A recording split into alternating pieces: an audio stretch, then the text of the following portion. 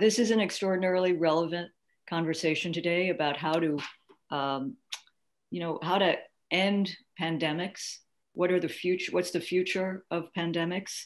Uh, we have lived in these last months and now almost a year through pandemic. We've also lived through insurrection, inauguration, impeachment. I hope many of you, I'm sure all of you have been watching in the impeachment. And I just want to put in a word for someone who was one of our conversations months and months ago, Jamie Raskin.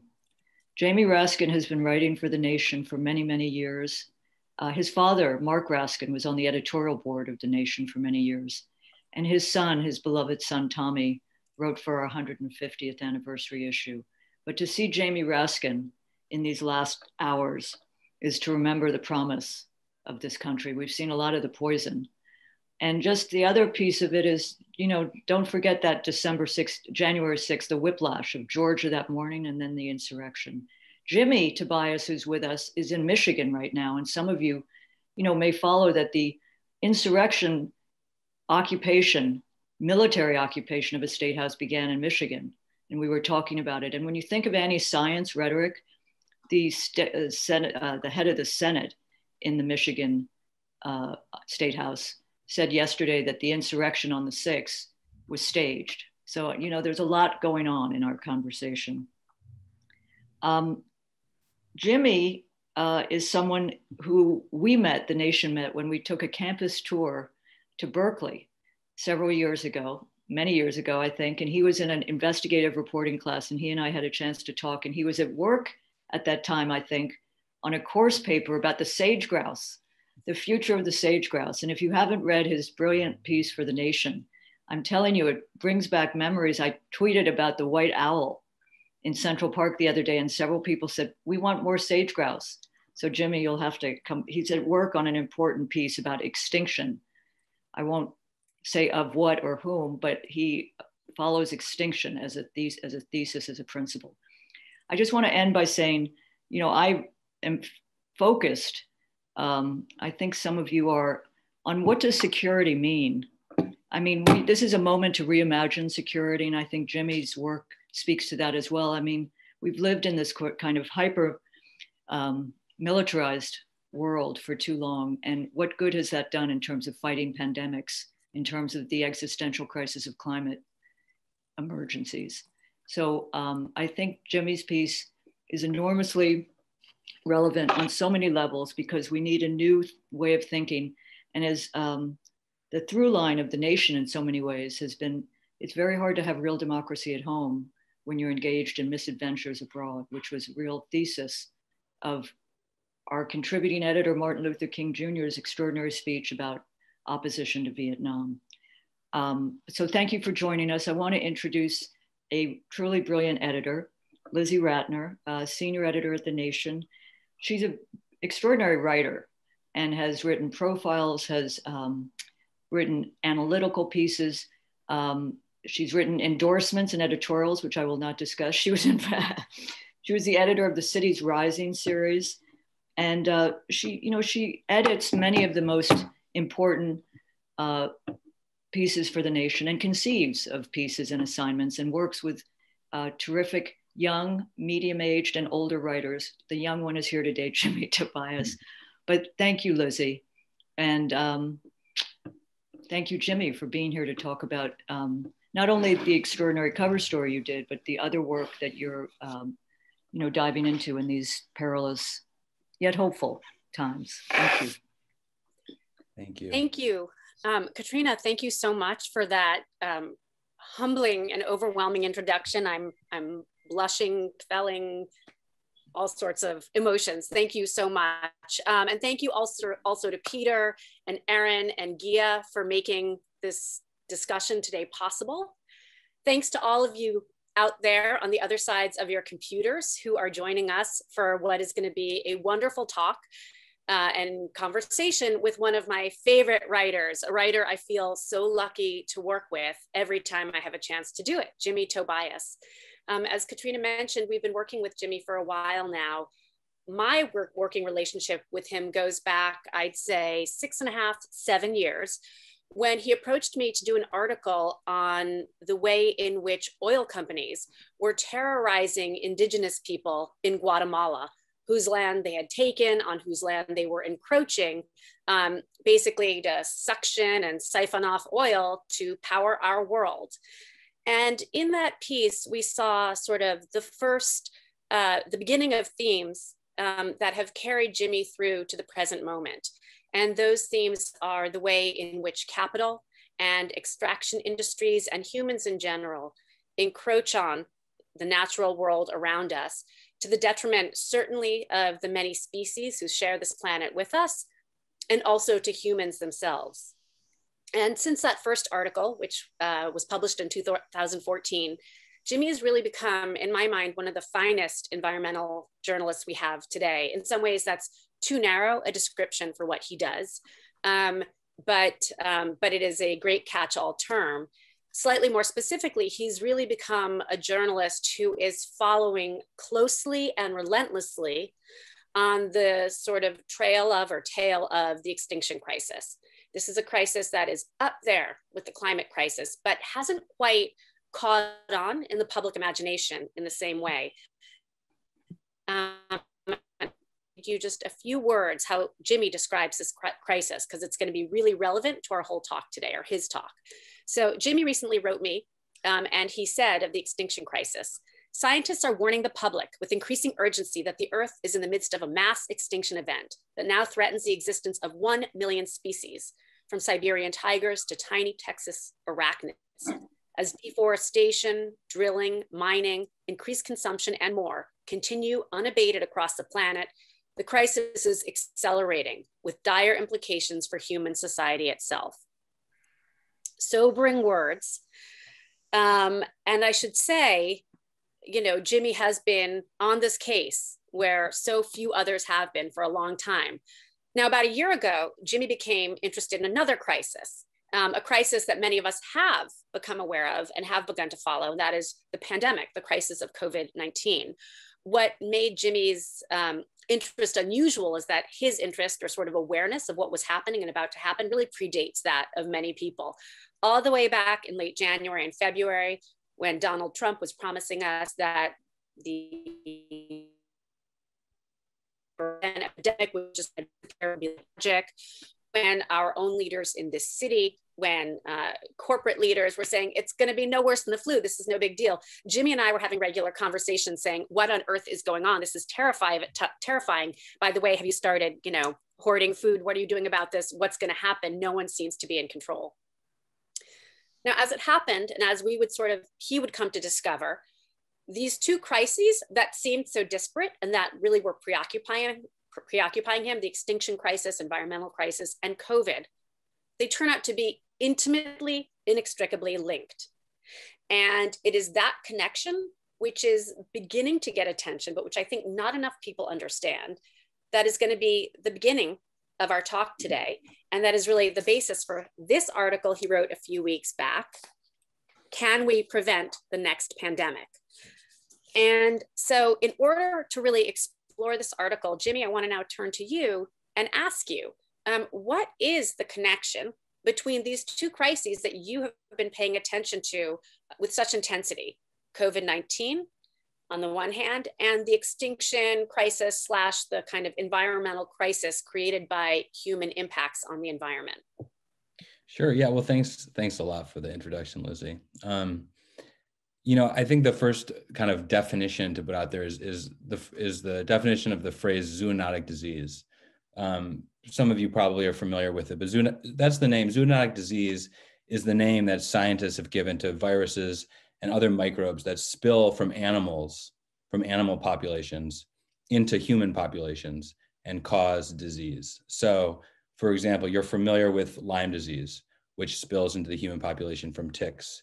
Uh, you're familiar with HIV AIDS, which first spilled into the human population from chimpanzees. Um, and then, of course, there's COVID 19, which likely originated in bats and spilled into the human population from bats or from an, another animal host. Um, and so from Ebola to Zika to Marburg to the Nipah virus, new zoonotic diseases um, continue to regularly spill into the human population from wild animals.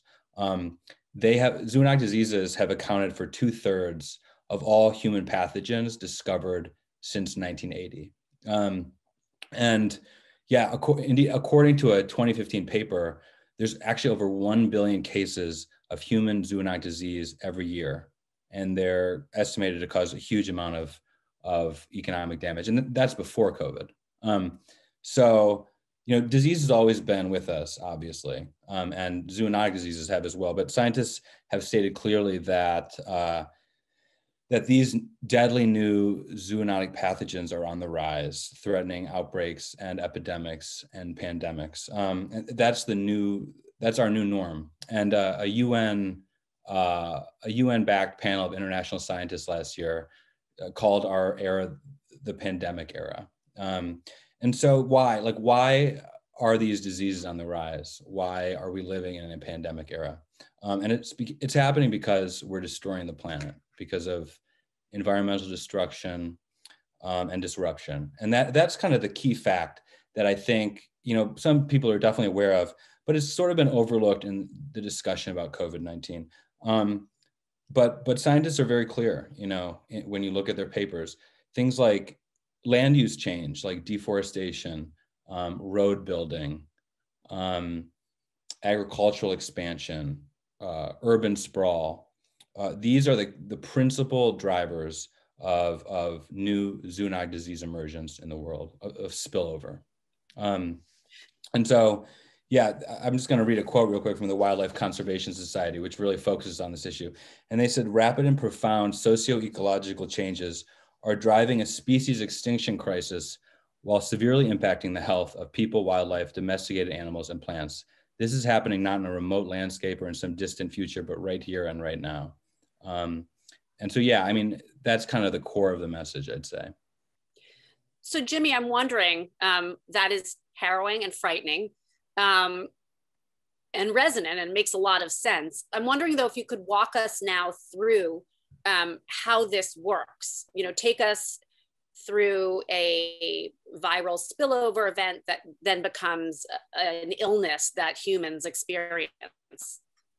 Yeah, you know, well, one classic example is is Lyme disease, which emerged in sort of degraded New England forests where people were moving in and um, scrambling the ecosystem, allowing for a pro- proliferation of Lyme disease carrying rodents. So that's one example. But the, probably the example that I think best captures the dynamics at play is, is the story of the Nipah virus, which first emerged in Malaysia in 1998.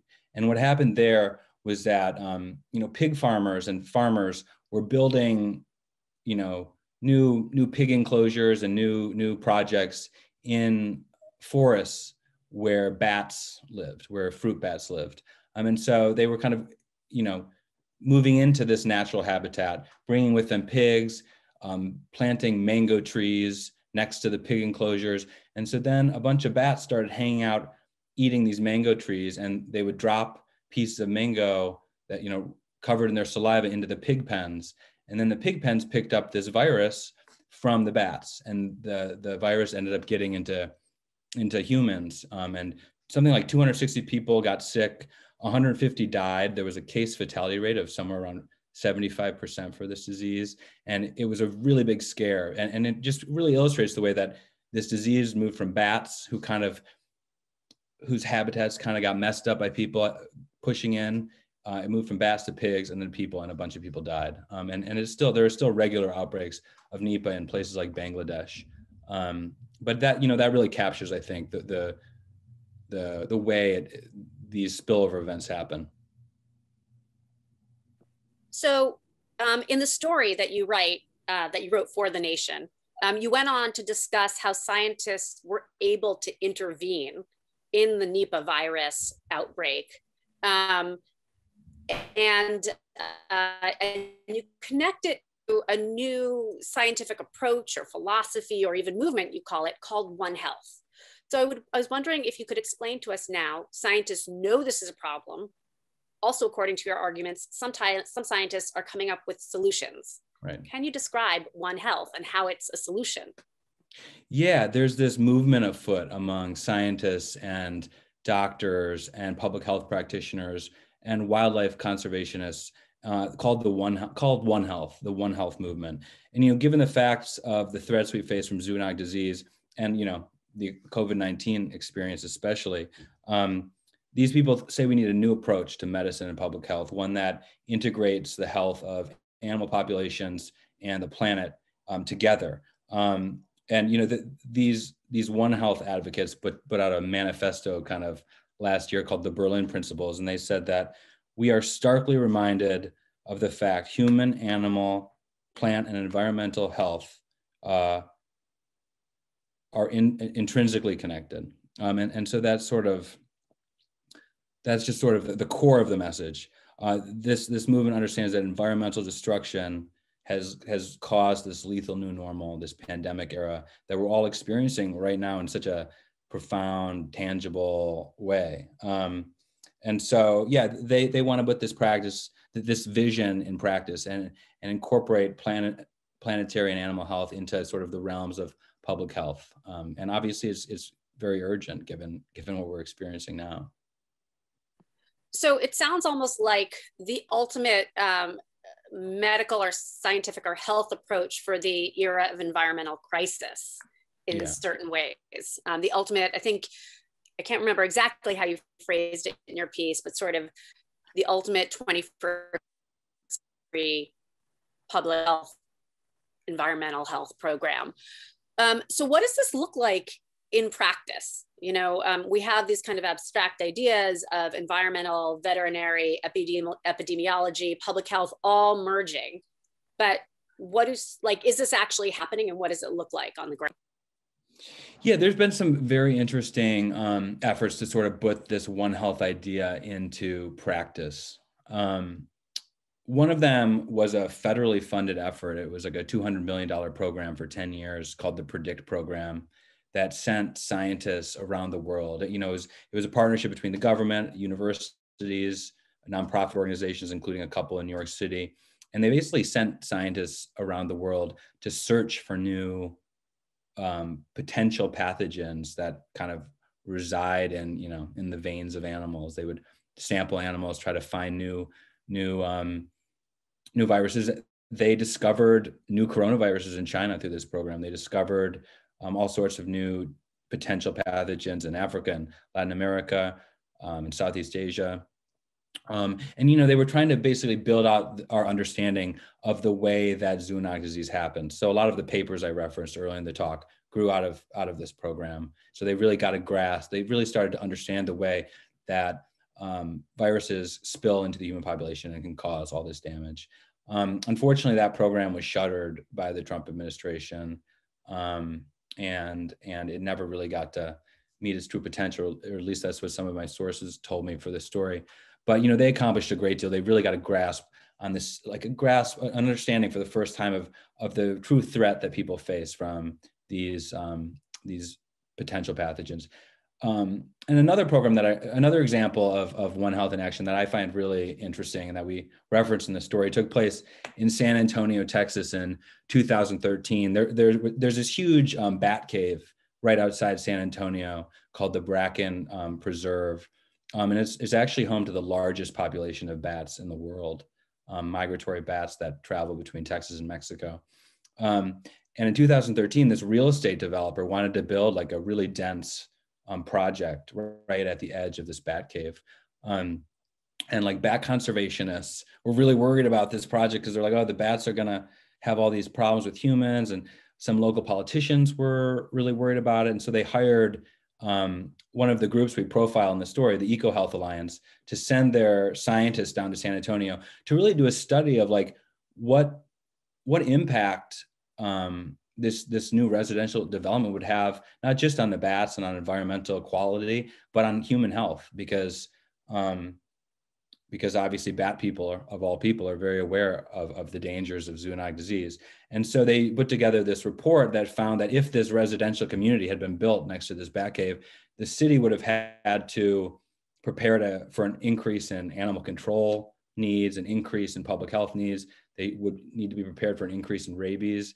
And the report also mentioned that these bats, these Mexican free-tailed bats that live outside San Antonio, also carry coronaviruses Um, and so it's an example of the way, like, if we were doing development in this country or anywhere in a way that actually took into account the threat, you know, that species disruption poses to public health, this is the sort of approach that we could take um, to really look at the way that a development project, a mine, a road could lead to, you know, instances of spillover um, from from wild animals to people. So those are both two ways that this idea has been put into practice in recent years, and and um, I think that San Antonio example in particular, I don't know, really spoke to me about the way we might start thinking about um, um our approach to development and economic, you know, growth or whatnot. And Jimmy, just to, um, if my memory is correct, the in the San Antonio example, the city ended up doing some interesting thing where they bought the land. They sort of created some trust or fund. Can you tell me they ended up buying the land so that it wasn't developed? How did that work exactly? Yeah, yeah. They they ended up not the the real estate project didn't move forward. The city partnered with conservationists and others to buy up the property that they wanted to build this thing on because they were so concerned about the impact on human health and, and, and other things as well. But and, and the person who ended up um, who led that charge, the local politician, um, ended up uh, his name's Ron Nirenberg. He ended up becoming mayor, and, and he told me in, in a call that you know his his brokering of this deal was one of the reasons he thinks he got elected.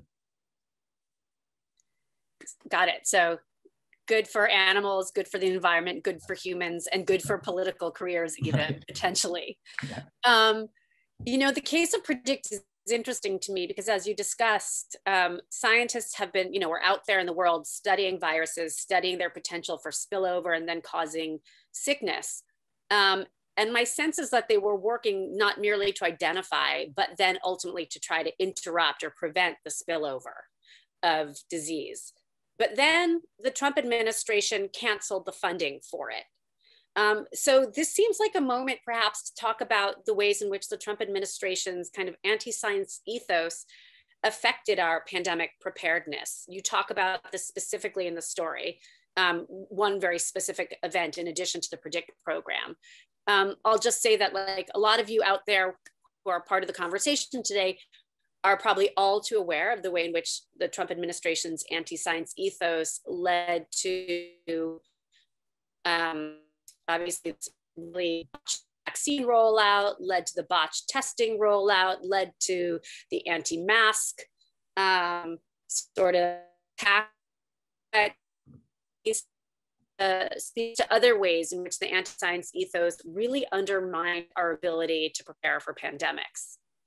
So I turn it back to you with that. Yeah. Um, yeah. The, one of the, the, the incident we kind of start this story with um, took place right kind of in the beginning of the um, pandemic. There was a press conference uh, at the White House, and um, there was this sort of this conspiracy theory going around at the time, and it's still very much alive that the coronavirus like was the result of a lab accident in China. Um, and that the Obama administration had given a grant to this particular lab. So there was all this, you know, um, talk about that. What really happened was one of the main One Health groups in the United States is a group called the Eco Health Alliance. They're based in New York. They've got great scientists. They're the ones who went to San Antonio.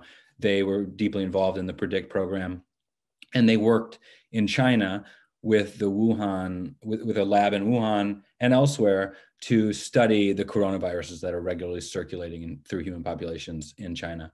Um, and and so you know when this conspiracy theory kind of popped up they were a target of it they got attacked like in, online doxed things like that um, and trump sort of embraced this conspiracy theory and and their grant the eco health alliance is like 3.7 million dollar grant working in china and elsewhere to study coronaviruses and other um, potential pathogens um, was abruptly canceled by the National Institutes of Health, like just like a few days after this press conference in April 2020. Um, and it was just a very egregious, like anti-scientific, politically driven decision by the National Institutes of Health. Um, and the Eco Health Alliance was outraged. All, all, sorts of U.S. based scientists were outraged. They said it totally messed up the federal program, like the federal procedures for providing scientific grants. And um, Peter Daszak, who's the president of the EcoHealth Alliance, called on the and still has called on the um, director of the NIH, the NIH to resign over this sordid incident. Um, but the director of the NIH, Francis Collins, was actually just reappointed by Biden to continue at the NIH. So, I mean, there's a lot there that I think um, still needs to be explored through public records requests to get to the bottom of why the NIH made this decision and canceled their grant because of this conspiracy theory. But it was just a very potent example of the way that like people who are trying to do this One Health work, you know, are running up definitely against a certain degree of, um, you know, sort of consp- conspiracy theories, sort of entrenched opposition to this idea, and sort of the, the xenophobia that's inherent in most discussions of zoonotic diseases. I mean, even the name of uh, these diseases are often kind of, you know, a reflection of, of, of fear of foreigners, as as you know, Trump's Trump calling the the pandemic the China virus is obviously a particularly toxic example, but it's sort of embedded in the discussion. So, so yeah, that that was one instance. Um, and now, you know, thankfully, Trump and his anti-science ethos, in theory, are gone. But um, as you pointed out, uh, Collins is still at the NIH. So, do you have a sense of what we can expect from Biden, or, at least what has happened um, in recent months around some of these One Health efforts in the United States? Yeah, you know, I'm I'm not sure exactly what the Biden uh, administration's approach is going to be here. I mean, obviously, I think they have a much more like um, healthy respect for scientific expertise when it comes to these sorts of issues. Um, I will say that, like, in terms of new developments, um, the Peter Daszak and the EHA were were finally recently able to go back to China on that um, WHO mission um, to explore the origins of this pandemic, and they came back with a report very a couple days ago that they said it was extremely unlikely that this pandemic was the result of a lab accident, and in fact, uh, um, a scientific paper published in Nature Communications this week found um, closely related viruses to COVID 19, SARS CoV 2, circulating in bats and pangolins in Southeast Asia. So I think the evidence is, is, you know, people are still searching for the origins of this virus, but I think, um, you know, this week we got a little closer to understanding the, the origin story. Right. And, and of course, as you pointed out at the beginning of the conversation, spillover events happen all the time. They've happened throughout human history um, while, you know, whether it's bubonic plague,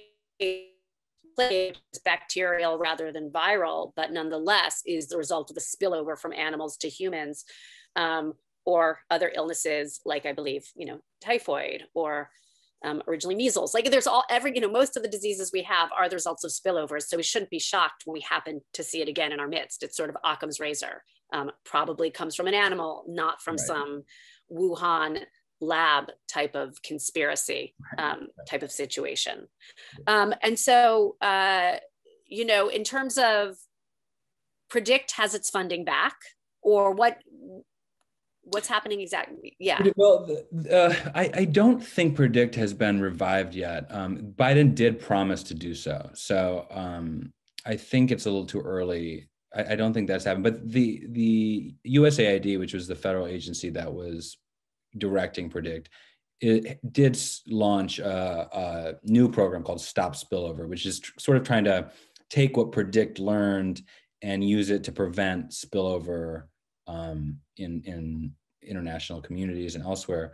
But you know i think people involved in predict would say that there's still definitely a need for like that just that initial research work like still trying to get a sense of the viruses out there that threaten us. I mean this pathogen that, that's causing covid-19 was you know it was unknown to us. But if, if predict had started five years earlier if more you know if it had more resources who knows? Maybe they would have found it first and been able to um, you know alert people to the dangers and start to prepare vaccines. Like a lot of um, a lot of the the pathogens I, have mentioned like nipah um, like nipah for instance is on a list by the world health organization for like preventative vaccine production. To make vaccines now should you know, should the virus mutate, become more transmissible and cause a pandemic sometime in the future. So there, like those are like that's like sort of where I think in, that's one direction that the One Health movement wants to go, like preventative, like preventative research, vaccine production, things like that,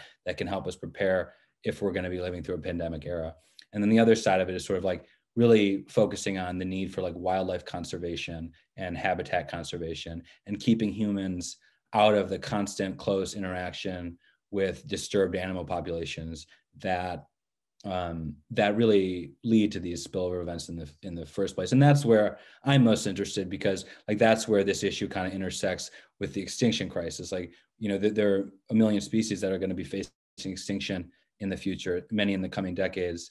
Um, and as these animals get wiped out, that's a sign that their habitats are getting wiped out, that humans are encroaching. And so it's sort of um, it's sort of a sign that like the, you know the extinction crisis and the and pandemics are, are sort of intertwined in that way. And so i think um, that's another area where there's really a lot of work to do. Um, and that's why the san antonio example spoke to me because it was a good example of the way of the of forward thinking on that particular element of this problem.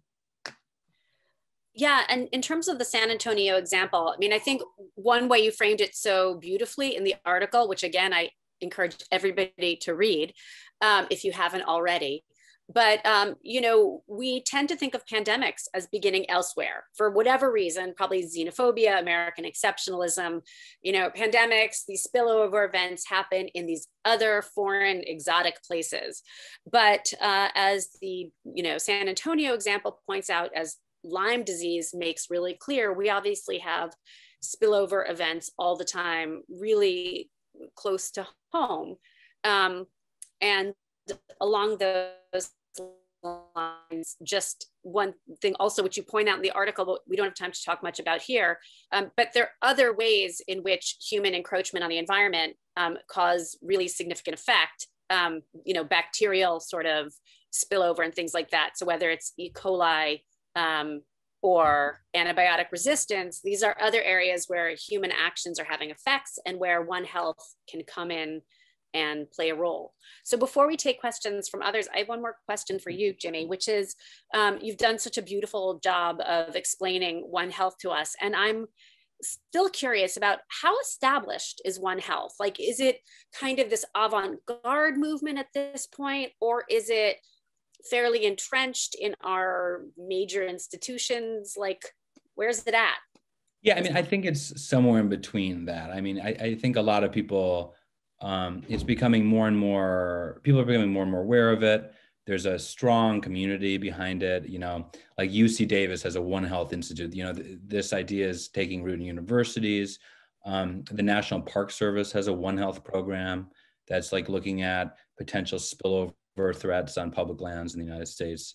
Um, the cdc has a one health office. I mean th- this is starting to kind of take root uh, in national governments and international institutions, universities. There's various nonprofits and, and things like that involved in this work around the world. Um, but I do think that like before this pandemic, it was not something that people really necessarily saw the urgency of. Um, and I think that this experience is going to really supercharge um, this idea uh, because everyone now is experiencing the consequences of our failure to take these warnings seriously. And there, there have been many warnings for many years about the threat of a pandemic and the threat that our and, and the, the consequences of our constant destruction of the natural world everywhere. Um, you know, and, and so we're seeing that. And you know, that's apart from even climate change. Like this is a, a different issue, although of course they're all related. But um, so yeah, I think I think I think it will grow tremendously after this experience, I imagine, and probably reach, you know, new levels of of institutional um, success, I guess. So that's a perfect moment to open up to a question um, from one of our listener viewers out there. Um, Alice asks Are there any politicians who get this stuff? Who in government is working most effectively to prevent future pandemics. So it's, it's kind of sort of a more honed version of my question. Like, is there any champion out there in our government who uh, pushing this? You know, I, I, I like I, when when you say like, is there a champion? Like, no one like comes to mind as like a really like visionary champion necessarily. I will say like who you know who that's their like main thing on the hill or whatever. But I um, Tina Smith, the senator from Minnesota, um, she has has a bill eh, before Congress with one of her Republican colleagues um, to institutionalize a One Health program across the government. I mean, she spoke to us for our story, and um, so she. I mean, there is active interest, no doubt, among politicians, and I'm sure that it's growing given what we're experiencing. But I wouldn't say like I, I you know, when I think of like really the the face the faces of One Health movement, I re- I think more of of like the scientists who are associated with groups like the Wildlife Conservation Society and the EcoHealth Alliance and organizations like that. Like they've really been um, carrying this flag forward for years. I mean, really for years. Um, and and you know, if you want to, in terms of like, if you want to read a great book on this topic, I would I would recommend the book Spill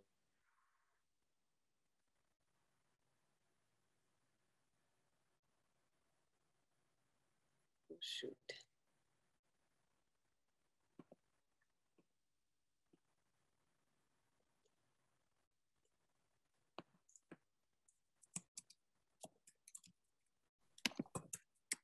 Hey, Jimmy, maybe reboot.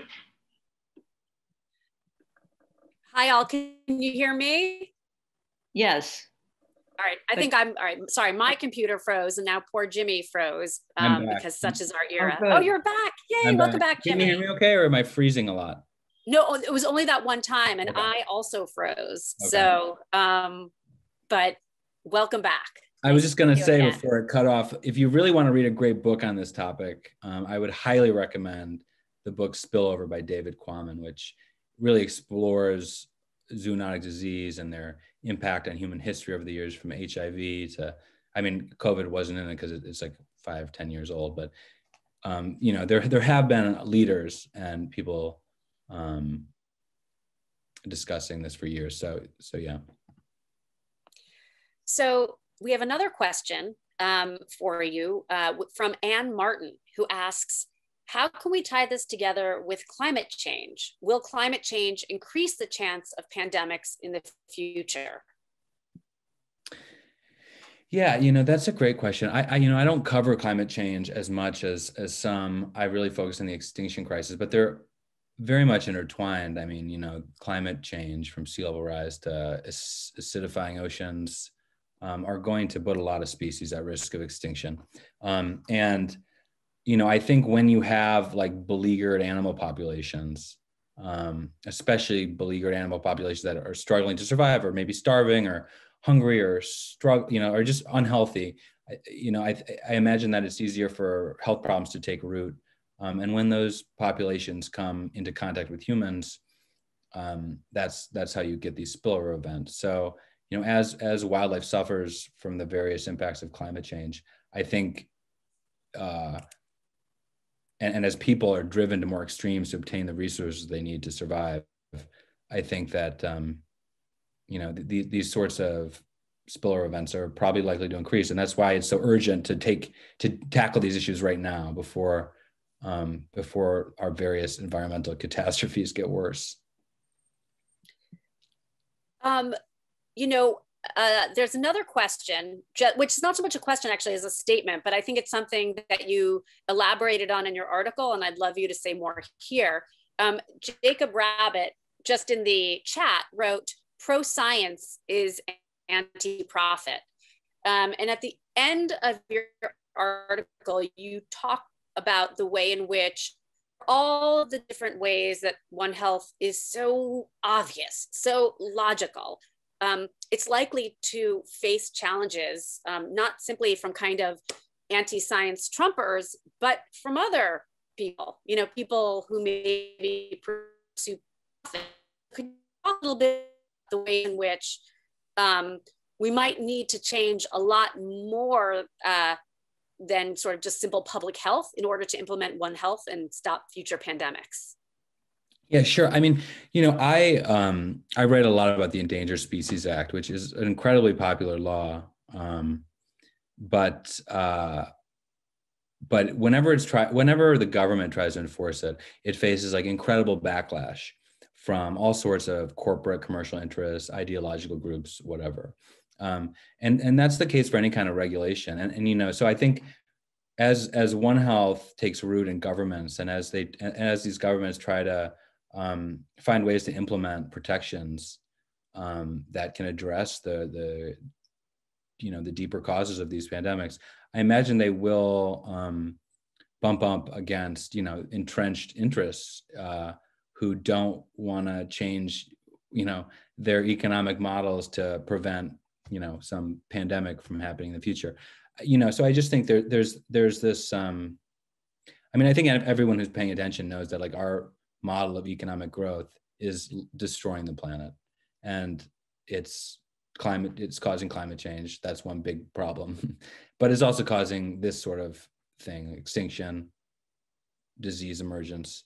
Um, and if we're going to survive on the planet it's really like incumbent upon everyone to to integrate this information into their approach. And that that means our economic models are are going to need to change one way or the other. And they can either change with the cooperation of people in the business world or they're going to change in another way. So um so yeah i mean it, you know everyone has been saying that from pope francis to you know the dsa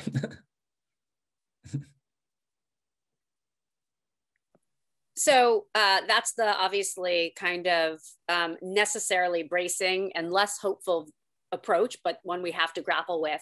Um, however, we have a question from Joseph Parker who asks, how is the One Health model informed by ecological theory? And is there anything from our knowledge of ecosystems um, and their recovery that might provide some hope for our public health future? Thank you, Joe, my kind housemate, for asking that question. um, uh, yeah, I mean, you know, the, the whole um, the whole One Health model is based on, I think, you know, the the tenets of ecology. I mean, disease ecology is the is the discipline that has really led to the emergence of our understanding of the way that these um, pathogens spill from from animal populations to human populations. And there's a really rich, beautiful um, literature of uh, about disease ecology, which you know, which that book spill the spillover, which I mentioned before by David Quammen, really gets into to the science behind this whole field. Um, and you know, I think you know another realm of ecology is restoration ecology, uh, and it's sort of rooted in the hope that we can restore the ecosystems we've destroyed and um, and chart a different path forward from our past. And I think that both of those fields of ecology are very much sort of um, inherent in this discussion. So.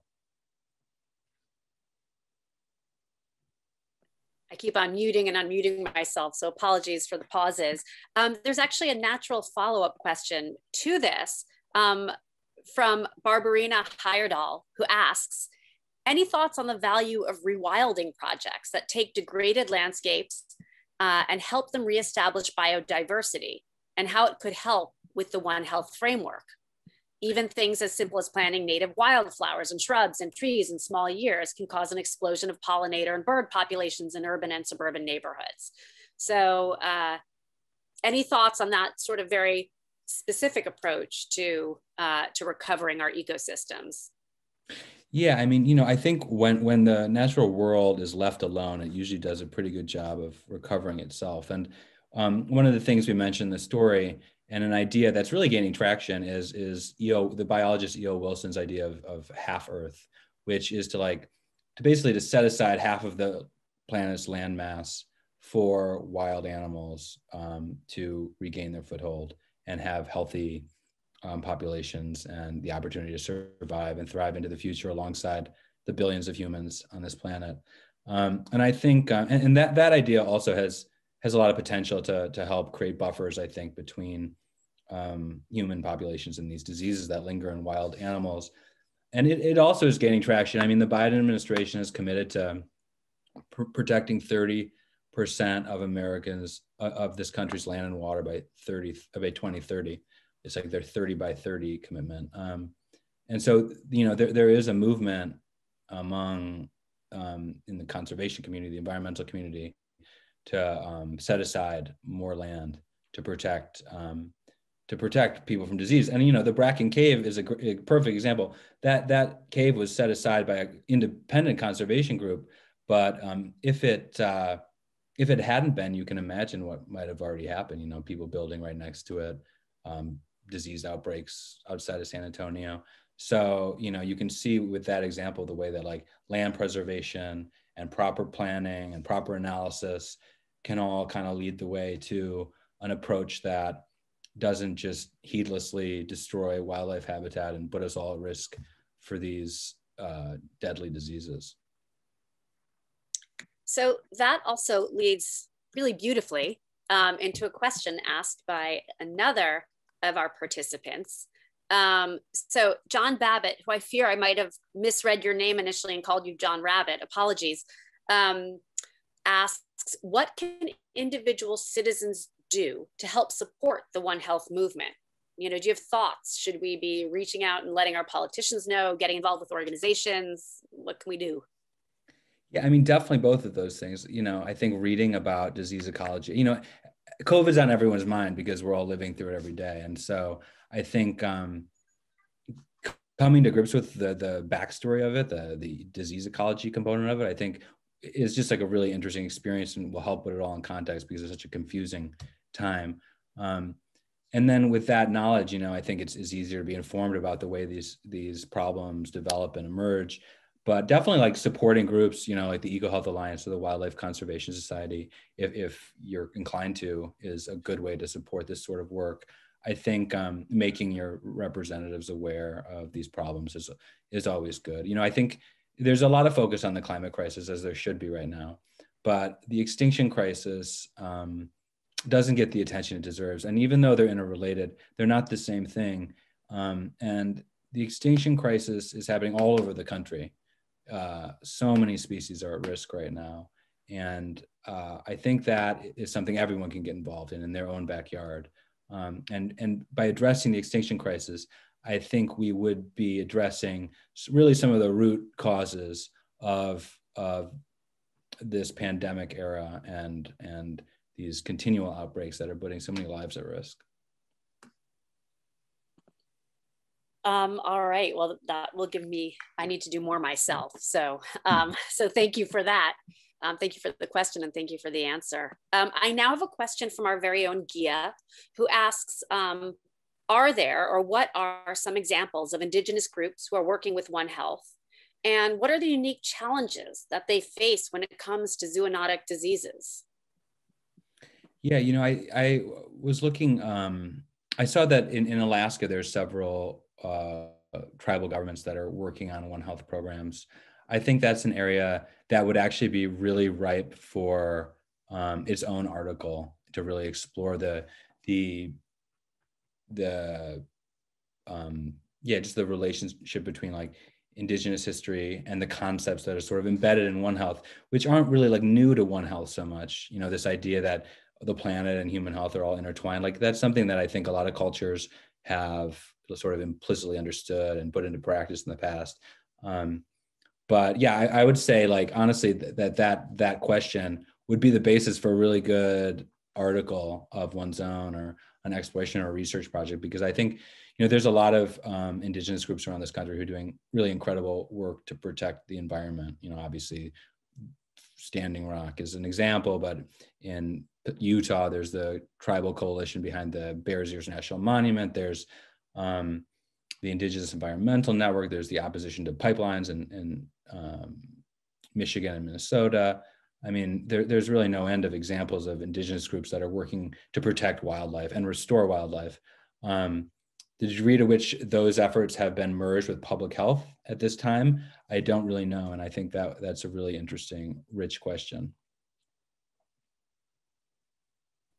um, I mean, certainly One Health has outposts all over the world, and it seems like uh, One Health groups work very closely with other groups around the world. But I think what you're getting at is something even more interesting and deeper, which is the way that Indigenous groups can uh, be leading and feeding these efforts. Because um, as you point out in your article, also, while the ideas of, behind One Health might feel really fresh to us, there are a lot of cultures and societies that have understood this for a very long time and sort of uh, the scientific community in certain ways is coming to it almost late if one wants to think about it um, that that way.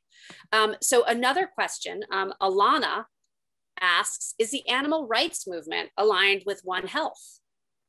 You know, that's a really great question. And I think, you know, I think there's a huge opportunity, honestly, to sort of merge the concerns of like wildlife conservationists and animal rights activists who usually are more focused on um, like the negative effects of agribusiness and domestic and the you know the plight of domestic animals. And I, have often felt that like those two groups really there, there seems to be like a missing connection there between those two groups to really approach the extinction crisis. Um, because you know like the way that climate activists one of the things they've done so well over the years is to link climate change to things like um, you know wildfires or bad hurricanes or flooding and I think the extinction, the people who are concerned about the extinction crisis haven't had as much success in linking that concern with, you know, more human daily impacts. And these disease outbreaks are a really good way to make that connection. And obviously, um, you know, as the Nipah example showed with with the pigs that were infected, you know, agribusiness has a connection here between um, in the spread of these pathogens, you know, like swine flu, avian flu, other other zoonotic diseases that sort of originate on um, on big farms where you know animals are confined and held in terrible conditions. So I think there's a huge opportunity to kind of um, connect the dots, and I, I haven't really seen it happen. But I do know that One Health advocates are not just concerned about wild animals; they're also concerned about the effects of um, you know industrial farming and things like that in the you know in the cultivation of new pathogens. So now we have a, com- a question which I have no idea of the answer to, and so I'm deeply intrigued by. It's by James Obar, and the question is: Any conversation anywhere going on about holding politicians and bureaucrats accountable for anti-science, anti-public health decisions by using "quote unquote" reckless endangerment as a legal theory? one of many times I wish I'd gone to law school. yeah, right. Should have done that. We need a lawyer for that one, maybe. Yeah, I um, know. I do think, you know, I think some of the people who, I'm just speaking from the area that I cover most, which is the Endangered Species Act and the Fish and Wildlife Service, which enfor- which is the federal agency that enforces that law. And I know that there are um, efforts by some groups to hold the people who uh, were involved in some of the most egregious rollbacks of environmental regulations um, accountable for their actions during the last four years, even if just you know with through through inspectors general whatnot. But there are efforts, I think, at that sort of thing. But reckless endangerment, I'm not sure about that.